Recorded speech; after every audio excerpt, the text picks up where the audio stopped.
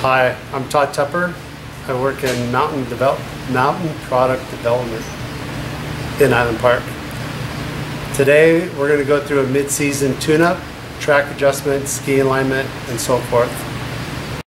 Okay, so now we're going to do the ski alignment, and the way I like to do it on the Arctic is take the hood off.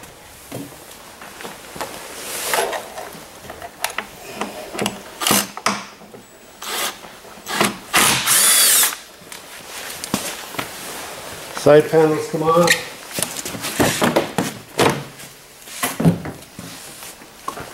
Quarter turns. Main harness.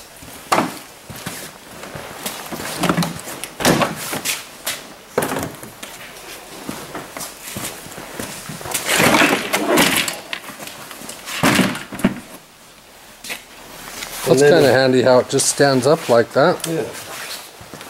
25 Torx to take loose the uh, belly pan screws off of the skid pan.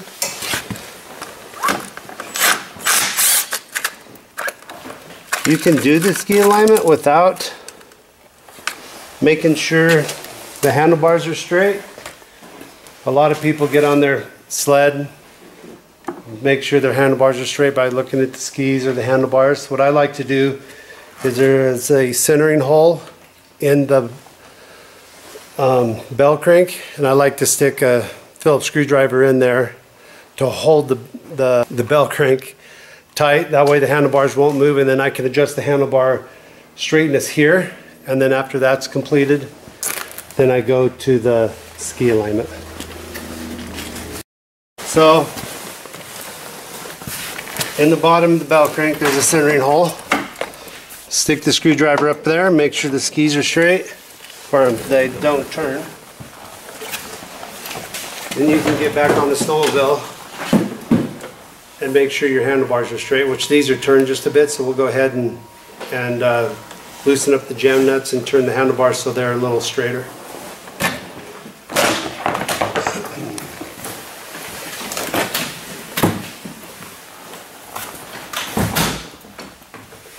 Which are 14 and a 16 wrench.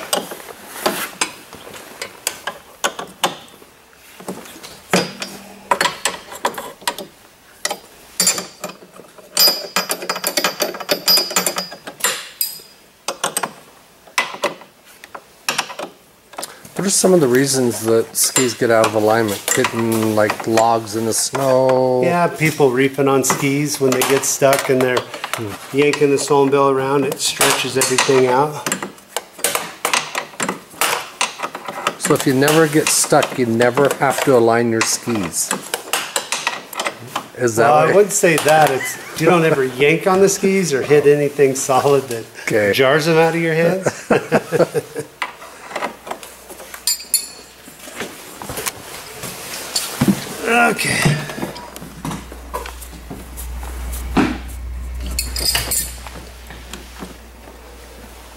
I think we're good. Now just go and tighten it all back up. So is this a mid-season thing that would be a good idea to do, or just when you feel like the handlebars are a little skitty wampus? Um, well, this is one of my pet peeves, the ski alignment.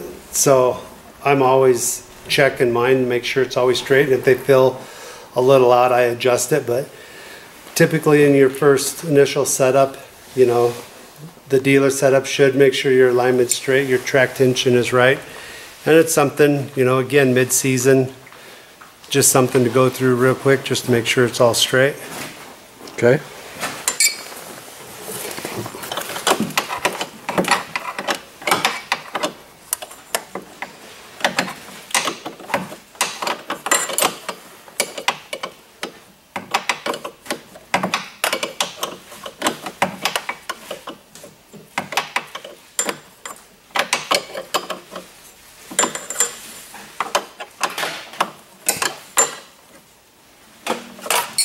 All right. Now,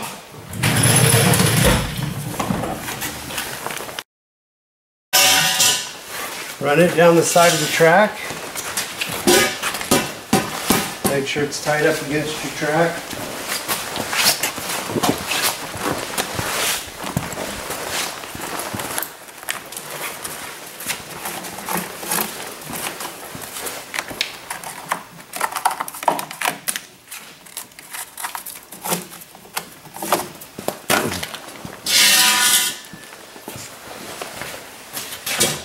So this stuff obviously I've built myself.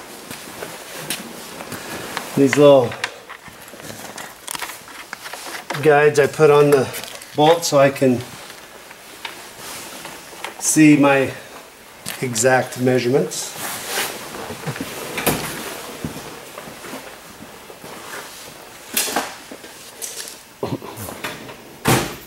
Now just measure back to the front.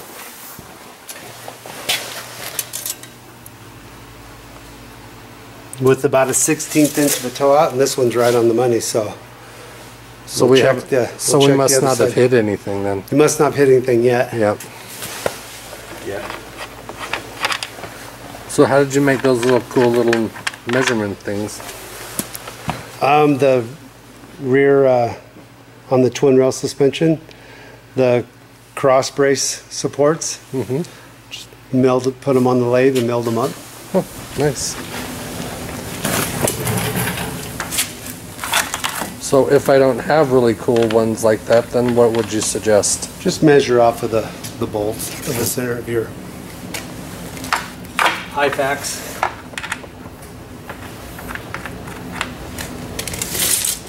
Leave the bar in the same place.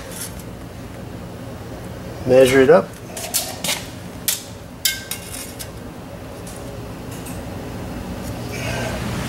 This one's right on the money also, so we're good to go.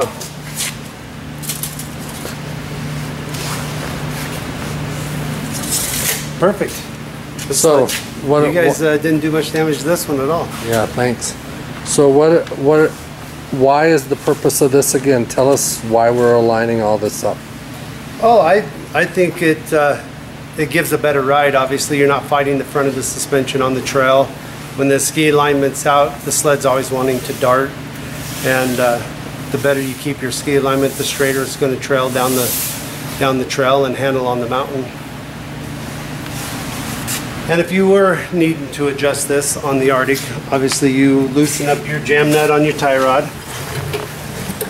Take these loose, pull the rubber back, and on the inside there's another tie rod nut. Loosen it up, and then you just adjust your tie rod in or out, whatever direction you need to go to to make your uh, alignment correct.